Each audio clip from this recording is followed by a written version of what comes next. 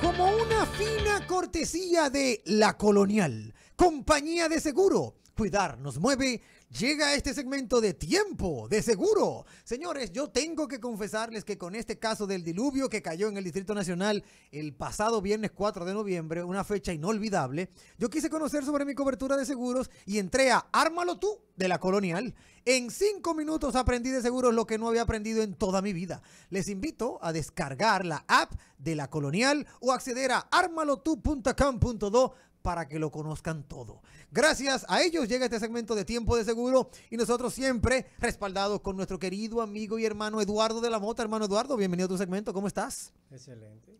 no te oigo bien, pégate un poquito al micrófono. Y mejor viendo al profesor ahí que acaba de llegar. Sí, el profesor es bueno, el profesor es, y es querido, es querido. Qué bueno, hermano Eduardo, que está con nosotros porque desde el día de hoy y tenemos que tratar el tema, aunque sea espinoso, aunque sea desagradable, pero en, eh, empaña de una u otra manera al sector seguro. Y es el tema de la huelga y marcha a la vez del Colegio Médico Dominicano a todas las ARS. En el día de hoy y mañana ellos han decidido no aceptar ningún tipo de seguro de ninguna ARS y están ahora mismo en una marcha en Barahona. Tú como experto en la materia, ¿cómo nos puedes actualizar? ¿Qué es lo que uno entiende que va a pasar? ¿Y cómo nos puedes dar sugerencias para uno de una u otra forma, óyeme, avanzar y lidiar con esta situación? Lo que es consulta y emergencia, ellos tienen que atenderlo por obligación. Sí, eso tengo entendido. Eso tiene entendido. Ahora, consulta y emergencia lo tienen que atender. Lo tienen que atender por obligación. Pero una pregunta, ¿la consulta pagando, haciendo un copago? Eh, hay muchos que hacen un copago. Todos los seguros van a pagar un copago. Claro. Todos. Pero entonces, en ese sentido, la consulta no está prohibida. No. Ok. Eh, pero hay una, hay algo que debemos de saber que los médicos piden un aumento. Cierto. Se le aumentó actualmente un 20%. Cierto. Es decir, en el 2021 se le había aumentado, en 2022 se le había aumentado un 20%, de 800 a 1040. Sí. Ahora se le aumentó un 20%, o sea, que, es de 1040, de 1040 a 1500. Es decir, se le aumentó actualmente 460 pesos. Ya. Se le aumentó. Sí. Pero ellos quieren otro aumento más, mucho mayor, pero ese aumento ahora mismo, eh, lo que es la cuenta de salud que tiene la, Seguridad Social, lo que tiene en fondo son 6 mil millones, la cual lo que ellos solicitan que se le aumente generaría 19 mil millones mensuales. dinero es decir, totalmente la, la cual la, cuenta no lo tiene. Claro, claro. Eh, por otra parte, lo que ellos están solicitando, aparte de que es la inscripción de muchos médicos en la CRS que tengan un código cada uno de ellos. Eso se puede solucionar, como yo siempre lo he dicho. ¿Cómo? Vamos a establecer la atención primaria. Claro. Vamos a darle inicio. Inmediatamente se le da inicio a la atención primaria y se desbloquee, se desbloquee que las ARS no puedan tener atención primaria, se desbloquee, automáticamente todos los médicos van a tener, van a tener trabajo y van a tener código. Sí, pero que se desbloquee eso, porque los únicos que no pueden tener atención primaria ni clínica son las ARS. Pero los médicos son prestadores de servicio, tienen atención primaria, tienen, tienen, tienen clínicas y tienen todo. Entonces, ellos pueden tenerle todo y tienen ARS también. Cierto, es cierto. Porque se dice que las ARS no pueden tener clínica, pero los médicos tienen clínica y son ARS. Y también tienen ARS. Y, y también son ARS. Entonces, para unos sí, para otros no. Tenemos la ARS de los maestros, que también tiene su clínica. Sí. Entre otras, que también tiene su clínica. Si, si queremos competir, vamos a competir igual. Claro. Vamos a competir igual. Entonces, hay muchas ARS que son grandes, son las más grandes, son las más fuertes. Pero el problema no es grande ni fuerte. Porque si fuera no por grande y fuerte, la más fuerte hubiese sido educación. No, la de la policía. La de la policía. Y luego le hubiese seguido educación. ¿Y qué pasó con la de la policía? Se fue a pique. Se fue a pique. a pique y más para allá. Es cierto. Que es la institución que más personas tiene. Cierto. Y luego le sigue educación. ¿Y qué ha pasado con, la educación? ¿Qué ha pasado con CERNA? Sí. Entonces, no estamos hablando de, cosas, estamos hablando de saber administrar, de tener un buen administrador.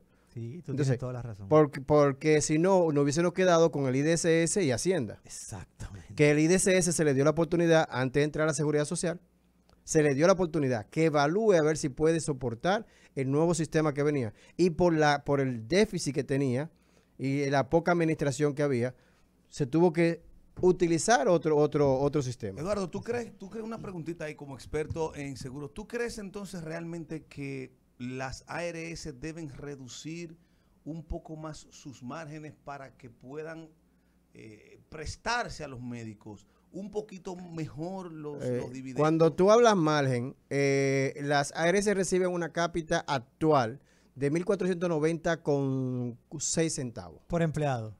por afiliado. Por afiliado. Por afiliado. Por afiliado, al mes. Vamos a ponerte un ejemplo sencillo. Va usted al médico y ese día que va al médico a usted lo internan y en cinco días que usted dura en el médico usted consume 200 mil pesos. Y yo recibí de usted 1.490,5. Y usted gastó 100 mil pesos. Multiplique eso por 10 de usted. O sea, ¿quién, quién, ¿quién es que recibe los mil, los mil y algo? La ARS. La eso es lo que recibe la ARS. Que lo saca por- de la TSS. que lo saca de la TCS, del Ajá. pago de la tesorería que hace el patrono y el empleado. diciendo, para entenderlo, tú estás diciendo que entonces las ARS reciben menos de lo que gastan, entonces no es rentable. No, para no, eh, es rentable ¿por qué? Porque es como un casino. Es como la ley de las probabilidades. La ley de la probabilidad. De 100 personas se enferman un- un 5%. Exacto. El otro va a caja. El otro va a caja y el otro es que cubre esas 5, por- ese 5% que invierte en la persona. Pero realmente el 95% no se va a gastar. Para se que va a gastar un 40%. para, que el un- pueblo, para que el pueblo ya no lo entienda es como una rifa. 100 juegan, pero uno solo se lo saca. No, claro, es un tema de rentabilidad y de probabilidades de siniestralidad. Si la Sí, siniestralidad exacto. de la ARS es un 5% de su cartera, es maravilloso porque el otro 95% es rentabilidad para ella. Sí, pero en el plan básico de salud, la siniestralidad actualmente es muy está en roja por el hecho de que hay muchas personas que lo han entrado actualmente y desde hace mucho, hace un par de años atrás, con problemas. No cotizaban anteriormente. Lo pusieron a cotizar para resolver un problema catastrófico. Sí. Para que tenga un millón de pesos o que se venga con el beneficio que hubo de la, de la, de la resolución de, dos, de los dos millones de pesos por cada, por cada órgano y le consume a la ARS dicho 2 millones de pesos, la cual lo único que ha aportado son chelitos. Cierto. Bien. ¿Tú Y entiendes- después que termina de eso, lo sacan de la ARS.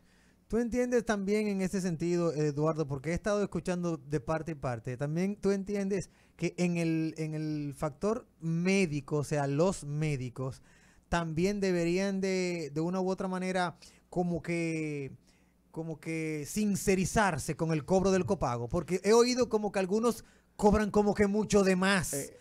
De lo de lo acordado bajo bajo el contrato de servicios. Eh, Lo justo y acordado, Ajá. que es la- el término que utilizan las, las compañías de seguro, justo y, ju- lo justo y, justo y acordado. contratado. Ok. Entonces, ¿qué pasa con esto? La- los médicos quieren que se le aumente el, el, el- el- El copago. el el servicio. Ajá, ajá. El servicio, ok.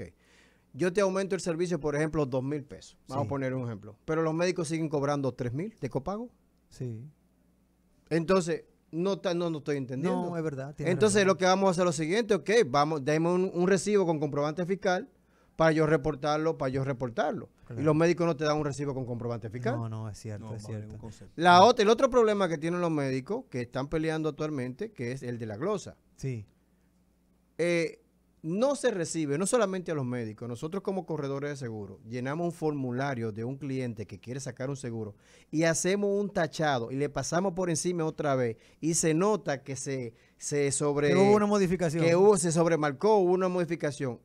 Y la ARS, no importa cómo se llame, no procede ese documento, lo Sí. rechaza, Sí, es verdad. porque es un documento que está alterado. es. No solamente a ellos, le sucede a uno, Eh, le sucede a uno yo como lo que he corredor. visto, yo lo que he visto, eh, eh, hermano Eduardo, es como que hay una especie de, de predisposición. A mí, por ejemplo, me pasó hace como seis meses atrás que yo llevé a mi niño al pediatra y el pediatra me puso unos indicadores. Cuando yo lo llevé a la ARS, la ARS me dijo, mira, este aquí está borroso, no se puede, no te lo puedo aceptar.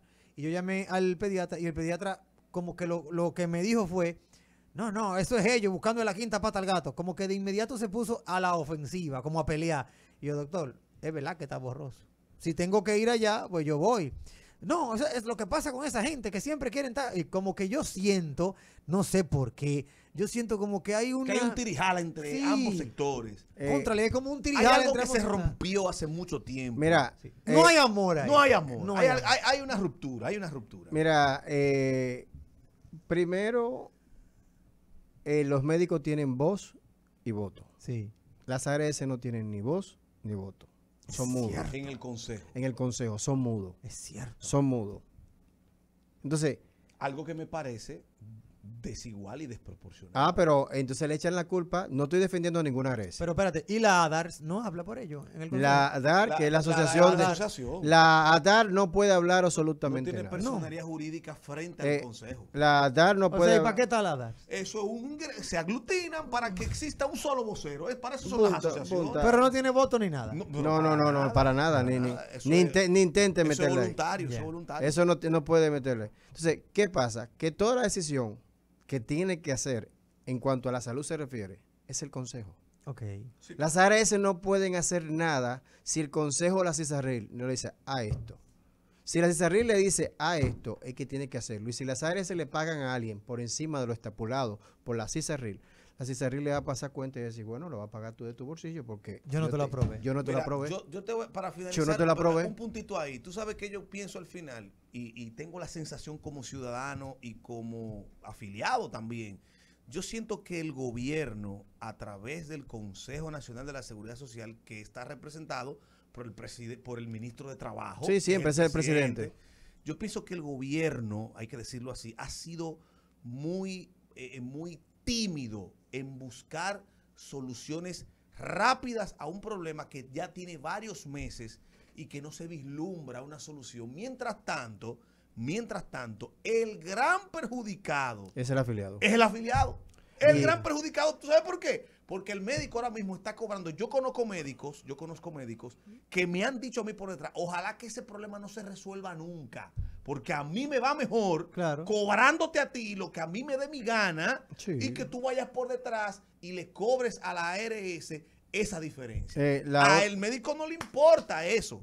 que Pero al final, reitero, El que sale afectado. el que sale es el afectado es, el paciente y el gobierno, representado por el flamante ministro de Trabajo, Luis Miguel de Camps, no han dado pie con bola a eso. Parece que se están sentando en el medio como con ese paño tibio y con, y con esa timidez. También en el Consejo hay una representación de la DIDA, que es la Dirección de Información y Defensa de los Afiliados a la Seguridad pero Social eso es el gobierno. Eso es parte el del gobierno, es gobierno. están como que y es un problema grave el problema de la salud es un problema grave aquí Mira, veo aquí que eh, me corrigen. Me dice que el paro de ayer y hoy es también a las consultas. Dice aquí se realizará un paro a las consultas para todas las ARS del régimen contributivo eh, jueves y viernes y solo se atenderán los servicios de emergencias y los pacientes críticos. Sí. Sugerencia, tú, hermano Eduardo de la Mota, para finalizar, ¿cuáles son tus sugerencias? Que no nos enfermemos.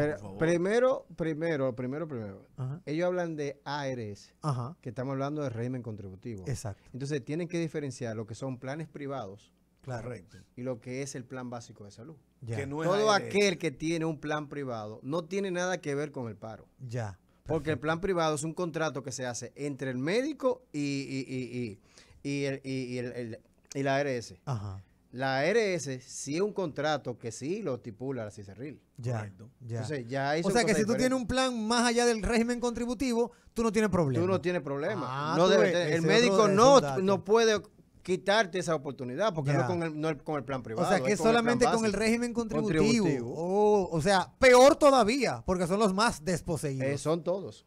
Mamma mía. Todo. son todos. todos. Son todos. Son todos porque cada quien tiene régimen contributivo y adquiere adicional el... el, el- pero una cosa ahí por ejemplo mi papá tiene un plan privado privado privado él no tiene seguro básico No tiene nada que ver con esa, con esa pero huelga. entonces qué pasa cuando él va donde el especialista Eh, yo tengo mi seguro ah no nosotros no estamos aceptando seguro el problema es que están confundiendo una cosa con la otra. Es peor ahí. bueno Eh, porque el caso con- de averiguar están todos metidos ahí. Exactamente. todos están ahí metidos Bueno, hermano Eduardo, eh, eh, recordarle a nuestra audiencia dónde te puede encontrar para cualquier inquietud, cualquier continuidad de este, de este comentario. Al 809-758-2592. 809-758-2592. Nuestro querido amigo y hermano Eduardo de la Mota, que siempre pues nos da esa panorámica y nos actualiza en torno al sector seguro. Ahí usted lo puede encontrar. ¿Redes sociales, hermano Eduardo? Eh, de la Mota Eduardo. De la Mota Eduardo, por allí lo encuentran. Como una fina cortesía de La Colonial, compañía de seguro, cuidarnos mueve, ha llegado este segmento de Tiempo de Seguro.